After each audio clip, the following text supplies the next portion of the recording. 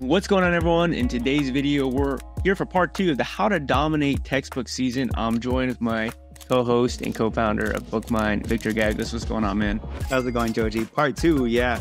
Part one was great. Make sure you go back to check that out. And uh, we're about to drop some extra knowledge here. So let's go. Quick recap of part one is pretty simple. How to identify whether or not a book is actually a college textbook. Also understanding kind of when generally you should buy them and when you're planning to sell them.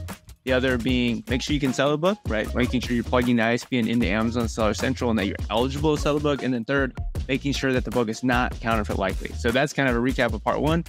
We went way more in, in, in depth and detail. So make sure you check out part one. Part two is going to be what do we see on BookMine that excites us, Victor? What are the things about college textbooks that we're looking for? What is the best buy price? You know, how do we determine if we're going to buy this book but not buy that book and so on? So with that said, dive into our screen. Go.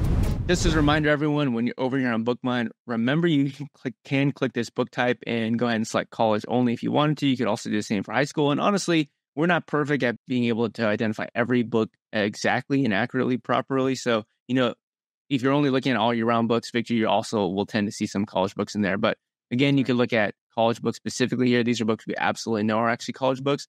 And what Victor and I have done is actually found a couple of books that we're really excited about that we want to share with you and, and more importantly, tell you why we're excited about these so that you can identify patterns. So yep. the first thing, Victor, is being able to identify like the current costs today being a good buy price. So can you talk to us a little bit about like how would you determine whether or not the price right now is a price that you'd want to buy the book at? Yeah. Well, we talked about this in the first series, but we're trying to find a pattern here, right? So we yeah. found a pattern already, which is August and January and basically in between those seasons they tend to have valleys. A lot of a lot of college books tend to tend to do that. And so we wanted to look to see if this particular book was in that valley. And so we're in june and the and what we're able to see is both uh, january and august having a pretty high price point. And now in june the actually the, the there's a, a pretty huge dip there. And that's a really great price to kind of show you that like okay this book is right around that nine dollars and yeah. for the most of the season was uh, well for the other two seasons was selling for like in the 25 30 35 dollar range. Right. And uh, yeah so that, that just on the price alone just by looking at this it actually looks like a really good book. Right. So you want to look at today's price versus kind of what did the shoulder prices and the peak prices yeah. of the previous two textbook seasons look like? Like victor mentioned looks like in the 30s 35s right now we're at nine. So hopefully you're all seeing that nine dollars is significantly below those amounts. So we are in this sort of valley right. Mm. Now, just because we're in a valley, though, doesn't necessarily mean we want to just buy the book just because it's in a valley, right? So, can you talk to us a little bit about the other thing that we're really looking for in terms of this bottom graph with offer count? Sure. So, like, you just kind of think of things as like green check marks, right? Yeah. So one of the check marks is that okay, it's a college book. We can sell it. We do, we, we went through all of that in the in the first video. But right. now we also want to make sure, you know, that it's in a valley. And now we need to make sure that the used offer count isn't doing something crazy. like we want to make sure it's still within a, a relatively normal range that the uh, in the past years have kind of been the same way. So so one of the first things to do is see where we are right now, and it looks like we're at about like thirty a thirty one um, count as a used offer count, and so we right. want to go back one entire year all the way to the beginning of the chart and see where we are there. And so we're going to compare the two and kind of write on this particular chart, on this particular book, it looks like, okay, we're within the a normal range. So there's nothing that jumps out at me that says, don't buy this book. Matter of fact, yeah. it actually tells me, okay, yeah, it, probably it's actually a really good, really good book and probably you're going to have some good success with it. Absolutely. So we just, by uh, used offer count simply mean the number of people actually selling the book in used condition. So what you can do is go over actual, you know, to the actual Amazon listing on Amazon, and you can actually see how this says new and used from 40. So this is actually going to be 40 new offers and used offers. So it's a combination of the two. But if you go and click this button, you'll actually be able to see if we just filter and only looked at use here, it's going to give us that 30 option, right? So if we go back down to the Keepa graph and we look at day, you can see how this says 30. So essentially, all we're all Keepa's mapping in this bottom graph is well, how many people we're selling the book in used condition. In other words, what's the competition, right, Victor? Right. So, right. At this day, June 16th of 2023, which is 365 days ago, there was actually 40 people selling this book in used condition. Now, one year later, going into this next textbook season here in the next couple months, there's 30 people. So you've seen a pretty, so that's a pretty significant decrease in the number of sellers. So mm-hmm. that's something, Victor, that makes us excited, right? Like even more excited because most of the time, actually, we're finding books they're slightly higher than right. year over year, but this book is actually lower uh, versus right. year over year, which means that wow, this actually has lower has a lower amount of used offer count, which more than likely this means that this book will sell even higher this year. Right. It's a really good um yeah, really good point there, Victor. And we will talk more about pricing. I think maybe video four, yeah. video five of this, how to dominate textbook season. But yeah, definitely, you know, the number of sellers, the pe- number of people offering the book on the listing is going to impact the eventual uh, prices of the book.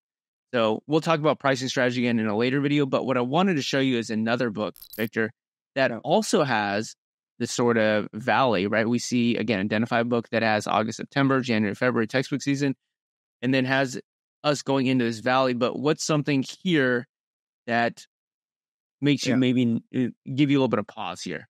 Well, I see two things. One, I mean, first off, I'm seeing that that like valley happen, and I'm getting right. okay on on just that alone. I'm like, okay, cool. This is a really good book to probably purchase. But then I'm noticing a few things that I've kind of like learned over time one seeing like a stair step. Do you see how like there's like a yep. there's like a step on every couple of yep. uh, like couple of I guess every week, and yep. so that's a telltale sign that that means that Amazon warehouse is on this deal. Right. And when that happens, that that's not a really good sign because Amazon's warehouse is actually really aggressive on just dropping the price until all theirs have sold out, and which right. means they, they could actually just kill the listing off. So that's one of the yellow flags. The second one is on this on the bottom chart. On the bottom chart, you can see that the used offer count has drastically moved up and it is out of the range of normal uh, for this book. It, it, hasn't, we haven't seen that high of an offer count since Never. this book has been, right, since this book has started. So those two together has caused me not to like this book anywhere near as much as I was liking it when just seeing it on price. Right. Yeah. And so going back to what Victor said about green check marks, these are like little red flags. Right? Yes. It's a red flag. Hey, offer count has never been higher than it's been today. That's a red flag. That means it there's is. never been more yep. competition to sell this book than right now. That's not a good sign. And then the other thing, like Victor said, you have Amazon warehouse deals tanking the listing with this stereotypical staircase down. So this is a good example of a book that looks like it could be good. And a lot of inexperienced booksellers will end up buying this book and then realizing that the book is not going to do well. And again, the reason why Victor and I know this is because we we've purchased these books before in the past and we learned from the mistake. And so maybe it takes you buying one or two of these books to learn from your mistake, or hopefully you'll be able to identify this sort of pattern when you're looking at books in the future. But we're hoping you see a pretty big difference between the book we just saw here in terms of offer count. Mm-hmm. And um, by the way, we don't actually see Amazon warehouse deals on this listing no. at all, the previous right. one, which is good. Yeah. Now we're going to look at one more uh, copy or one more book, and then we'll get out of here. So we'll look at this book, Classics of Criminology. Okay, so we've identified a clear pattern August, September, January, February. Yep. Uh, we're starting to get down into what looks like a little bit of a valley here. What are you seeing here in terms of, let's say, offer count, Victor? So I'm seeing actually a pretty healthy book. I don't see anything here that's putting a yellow, red flag up for me. Um, it had a pretty good, healthy um, August season and January season. And one of the ways you can tell that is by the used offer count, both of those seasons kind of dropping, right? right. Kind of right. happening here, here. there. Right. Both yeah. of those happening. And then year over year, it's not much higher. Uh, uh, the used offer count is slightly higher, but not a lot higher. So again, another positive. Right. And then, then now I see, uh, Joji, you kind of like zoomed out for the entire uh, 4,000 days, and you can see just the pattern repeating year in and year out. And, and I mean, we both love seeing that, right? Yeah, like we can pattern. really determine that, or we can really, yeah. yeah, hang our hats on that so many patterns with the sales rank, right? Always have that stereotypical you, and basically since 2015 up until now. And then also that same pattern that Victor mentioned with the these offer counts, always dipping during those two seasons. And then also, like Victor mentioned, if we look at the used offer count today, even though we're at like, you know, a couple days ago, we were at 38, 39, that's actually not historically the highest it's ever been. It's actually been much higher in the past. So it's not like we're in a realm of like, we've never been here before, like one of the other books we looked at. This is a book that kind of has that stereotypical same pattern. I'd say it's in the ebb and flow of kind of just what you'd expect for the range of, let's say, variants, right, for a book right. like this. So something that looks great. Now, we should talk about some of the other things besides just being in a valley, making sure that the used offer count is looking normal. There's some other things that would excite us, and we will go into much more detail later on in the other videos in the How to Dominate Textbook season. So make sure you watch those other videos. But some of the other things that we really want to you know, look at that would make us happy would be, you know, normally what gets attached on the listing if there is a new edition. So you want to talk a little bit about, you know, new editions and what would make us, let's say, you know, again, a little like green check mark, which would make us more excited about textbook. Yeah, really quickly. I mean, when you go in and you see when you click on Amazon um, a new listing, and then you don't see a new book coming, like there's no new edition here. That's actually a really big positive for us. That means that right. there's no new edition coming. This is the newest edition, and so uh, you know that because a lot of times if a new edition comes out, we tend to have to be more much more cautious. Right. So on this particular book, there isn't that listing there, so right. we can definitely feel much more confident that the pattern is going to repeat again. Absolutely. And so, yeah, that's probably one of the biggest things. Yep. So you can see with this book, Classics of Criminology, it's kind of like another little green check mark. Is hey, we don't see a new edition attached to this listing. That means if you know a college student needs this book, this is the actual the cream of the crop. This is the actual book that they would require, like the one that is most prominently going to be used, you know, throughout the United States, which is good. Now, if we take a look at, let's say, this other book here, this literary criticism book, again, we don't see a new edition, you know, being attached there either. Now, what's interesting about this family diversity book is if we actually look at the Amazon page here, you don't see there being a new edition attached here. But Victor, just because there isn't a new edition attached here, does that automatically mean there isn't a new edition? No. And one of the ways that like you would want to like dig in a little bit more is when that used offer count just drastically yeah. spikes like that. That's a really good telltale sign that there is a new edition either just about to come out or just came out. And uh, if you were to Google this, you can tell that yeah, uh, they just announced it a couple of weeks ago that a new edition is just uh, is about to come out. Right. So you can literally just copy the title, and again, this is this should have an edition. Yeah, this says 3E at the bottom, so it's the third edition. So if you just Google this, I'm sure it'll show fourth edition. So it just came out. So again, those two things go hand in hand. Usually, a rise in offer count, and the reason why the offer count would rise so much is you have a large majority of students transitioning, right? Victor, colleges right. and students transitioning to the next book, which means this older book, you, know, you have fewer people buying it. So, you know, basically the demand isn't keeping up with the supply coming in. Correct. Essentially, what that would look That's like. Right. Okay. Now, the other thing that we would want to look at that would make us excited is actually the fact that there aren't any large textbook sellers you know, large mega sellers as we call them. Yeah. You know, RentU, Rock City Books, Apex Media, you know, there's a couple other that we don't see them with a bunch of units in stock. And there's a little bit of nuance here, Victor, because you will have some, you know, college textbooks that sell way more frequently than others, right? You'll have some college textbooks that are probably selling 50 times a day. And then you have other college textbooks might only be selling three or four times a day, or maybe even once a day. So the number of copies that, you know, a mega bookseller has yeah. you know, will be Very. different depending on the sales rank of that book. But what you would do is you would just click filter and click prime offer. And what what would we be looking? What would we be wanting to look for here or, or not see here that would make us happy? Essentially. Well, I mean, the best thing we can do is we click on the FBA offers and we see very like say one at like ten dollars and then the next one being forty. All right. Well, now we have a really great book. That makes me really excited. But you know, another thing is we, we go and look through all the books, and what we're wanting to see is just everyone having like one or two copies, and nobody coming in with like right. you know fifty copies or more of a, of a, book, especially at a really low price. Right. And so on this particular book, I'm not seeing any uh, mega seller on this listing that has a ton of yep. units. So I, I, I, that's another green light here. Yep.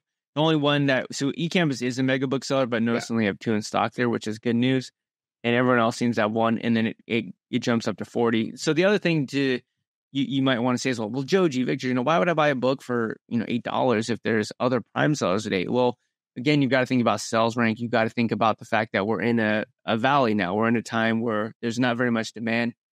Coming up here, Victor, is going to yeah. be a bunch of demand, right? Right. And who's going to have priority in terms of, you know, a, a, the actual customer or the student? The FBA offers get have priority or the FBM offers get have priority?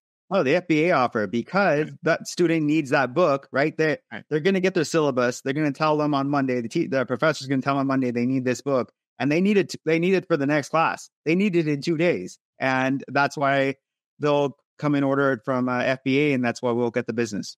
Yeah, and so think about it logically. It's like okay, well, we're looking at a book that potentially has four or five total offer or total like uh, quantity in terms of FBA mm-hmm. prices, right? And then it goes up to forty. Well you got to ask yourself this August, September coming up, if you're looking at the sales rank, I mean, there's definitely way more than four or five cells here that, yeah. that are going to be occurring. You can even see how basically we start at the beginning at a 58 offer count and get down into 30. So at least, you know, 28 offers on the actual listing going off. So what we're trying to say here is that this book has enough demand that all those lower FBA offers are very likely to get bought out. And the good news is that even though there is one mega uh, textbook seller that is FBA eligible here, there's only two in stock.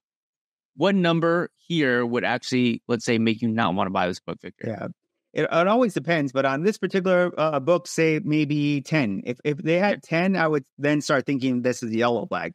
If I saw them having like 20, that's a red flag that because this book doesn't have a lot of demand, but it really depends on how much demand the book has, uh, right. how, how, many sales are happening during the season. Do, right. do I really decide whether or not um, this is a go or pass for me? Yeah, for example, like let's take a look at this the family diversity back, uh, diversity book here. The sales rank of this book gets much yeah. lower, right? So yeah.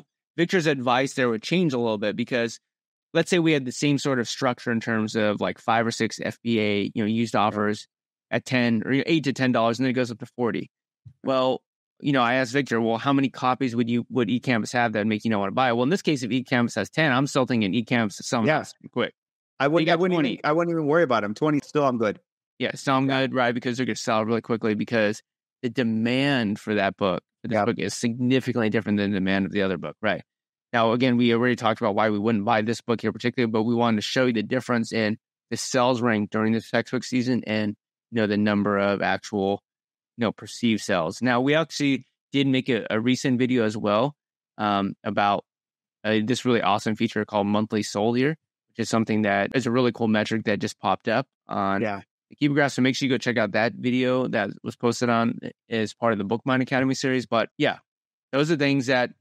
cumulatively are going to make us happy, right? So let's go ahead and review here, Victor. Okay, go for it. So the things that are going to make us really want to buy a book is the book is in a valley, right? Its current price is significantly below what the shoulder and peak prices are during the textbook season. That's good, right, Victor? Right. That's good. Okay. The other yeah. thing that makes us really happy is making sure that there isn't a new edition. That what we're looking at is the newest edition. That makes us really happy. Yeah, yeah. Now, next, the next video in the series will be about more, you know, more in depth about that. What if there is a new edition? Does that mean we're not buying? No, that doesn't mean we're not buying. It could mean we're not buying, but it doesn't 100 percent of the time. It's possible, mean. right? It's possible, yep. right? So we'll get more in depth in that in the next video of this series. So, you know, we're really happy if there if we do have the news edition, and then lastly, we're really happy if we don't see mega booksellers, mega, or even if we do, even if we do, they only have a few offers. Right. So, anything else you want to add here before we move on to the next video? Oh no, I think I think this is a great video. Um, make sure you guys watch all five of them because we're really help you guys dominate textbook season. Sounds good. See you guys in the next video. See ya.